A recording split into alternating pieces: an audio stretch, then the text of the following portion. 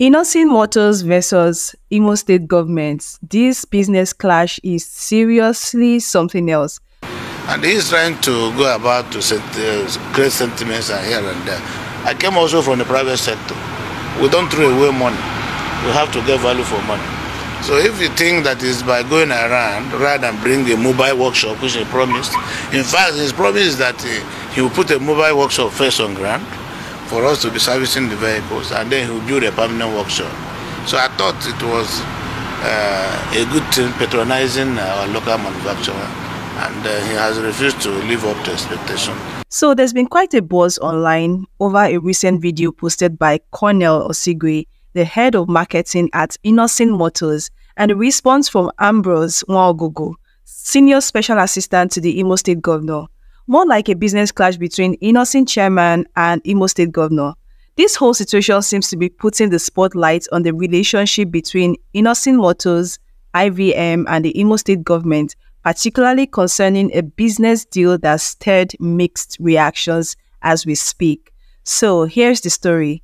Cornel Osigwe made claims online, calling out the Imo State government led by Governor Hope Uzodimma for not honoring their side of a business transaction with IVM. Huh. The deal reportedly involved over 5 billion naira contract for procuring vehicles. Sounds like a big deal, right? Well, things got really heated when Osigwe's posts implied that the government wasn't holding up its end, and this sparked serious reactions across social media.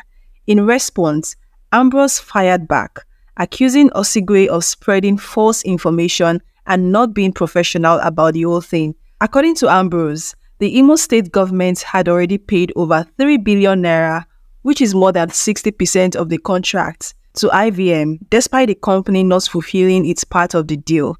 What's this part of the deal we are yet to find out? Well, just stay tuned and you'll find out. And we placed the order for him to supply us a vehicle for over 5.3 billion naira. Incidentally, has, there's no workshop in Imo State where his vehicle can be repaired. And part of the agreement was he will put a workshop in place. As I speak to you, 70% of the vehicles are granted. We've paid him over 3 billion naira and no workshop to maintain the vehicles. A major sticking point was IVM's promise to set up a service center in Imo State for maintaining these vehicles whenever they get faulty. And the amount of vehicles you're talking about is over 150 vehicles, which was supplied to the Imo state government, which as of now hasn't happened. Instead, the vehicles have reportedly developed faults, and people, including government officials and civil servants, are left with unserviceable cars. Ambrose didn't hold back, questioning why Osigwe was dragging the governor online instead of addressing the actual business agreement. He called out Osigwe's behavior, even challenging him to publish the full business contract for the public to judge. According to Ambrose, if IVM had a legitimate case, they should have taken it to court and not to social media. Meanwhile, this is the post the head marketer made that is causing serious ish right now. He said, Lest we forget, about 150 vehicles supplied to the Imo state government under the leadership of Hope Uzodimma, valued at over 7 million US dollars, remained unpaid. Based on the devaluation of our naira, if the money is paid today, it will now be worth 1.5 million US dollars. The conversation should be how have Innoson vehicles been surviving under our harsh economic conditions and heavy debts being owed to the company? Okay, the situation raises some big questions, especially about the state of business relationships in Nigeria. Shouldn't both parties honor their side of the deal before throwing public accusations? And why hasn't this issue been resolved through proper legal channels?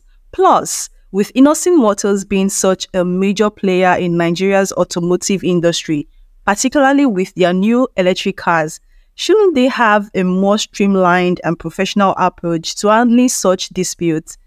The Imo State Special Assistant replied him by saying, To set the record straight, 1. Imo State, through the executive governor, has clarified the facts on several occasions. In the video attached to this update, the governor clearly stated that it was IVM that had not kept its part of the bargain regarding this business transaction.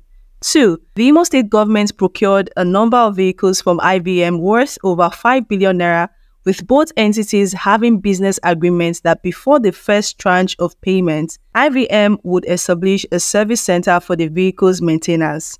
In keeping with their terms of agreement, the Imo State government provided the required enabling environments for the company to establish their workshop in Imo State. 3. Additionally, the Imo State government paid over 3 billion naira out of the 5 billion naira contract sum, even when IVM had not provided a drop of shovel of sand for their proposed workshop site. They also promised to provide, in the interim, a mobile workshop to cater to the hundreds of vehicles the Imo State government bought from them. 4. As a direct result of IVM's inability to keep their part of the business bargain of providing a service center in Imo State for the procured vehicles, over 70% of the vehicles have developed faults. This includes the vehicles donated to Imo State civil servants for the free bus scheme, operational vehicles for security personnel, and those for senior appointees of the government due to the unserviceability of the vehicles. 5. How can the weapon fashioned against IVM, aka Cornel Osigwe, be online shamelessly dragging the governor of Imo State when their company has not even fulfilled any of the business agreements. Okay, now, so this is very funny. Huh. Number six, you agreed to provide a mobile workshop for servicing the vehicles pending the construction of the permanent workshop. Which of these did IVM provide? None. This situation brings into focus the critical role of communication and trust in business transactions, especially when they involve significant amounts of public funds.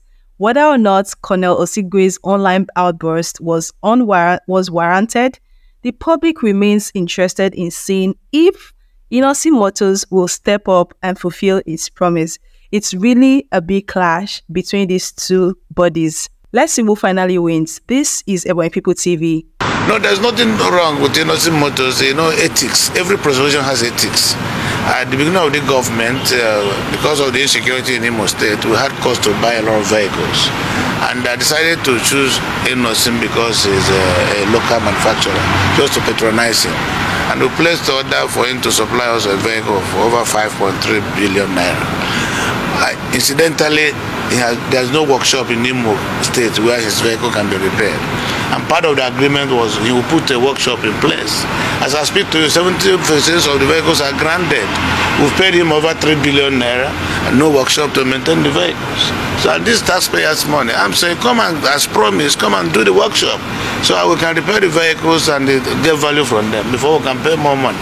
And he's trying to go about to set, uh, create sentiments here and there. I came also from the private sector. We don't throw away money. We have to get value for money. So if you think that is by going around rather than bring a mobile workshop, which he promised, in fact, his promise is that he, will put a mobile workshop first on ground for us to be servicing the vehicles, and then he will build a permanent workshop. So I thought it was uh, a good thing patronizing our local manufacturer, and uh, he has refused to live up to expectation. But it will be resolved. I advise him to allow wise counsel to prevail. Okay.